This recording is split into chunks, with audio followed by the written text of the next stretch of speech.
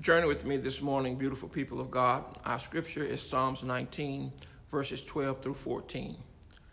Clear me of any unknown sin, and save your servant from willful sin. Don't let them rule me. Let the words of my mouth and the meditation of my heart be pleasing to you, Lord, my rock and my redeemer. Amen.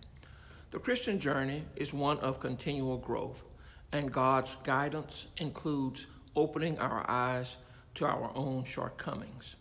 Just as we become aware of God's mercy, presence, and promise over time, we also become aware of our own shortcomings. It has been interesting to see how social media can help bring awareness to brokenness in the world, as well as to those who have committed their lives to eradicating brokenness. Racism, sexism, classism, all the isms are not new, but our society's access to information has brought them into the light as they never have been before.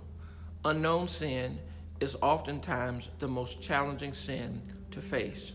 When God makes us aware of how humanity is interconnected and how we are often complicit in the brokenness in the world, it is humbling.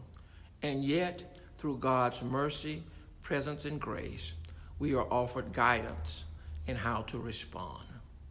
Let us pray. Push me to see as you see, gracious God, and guide me to respond. Amen. As we journey together, I'm going to ask you to subscribe to this channel. Please pass this devotion to five people and encourage them to subscribe as well. God bless you, and you have a great day.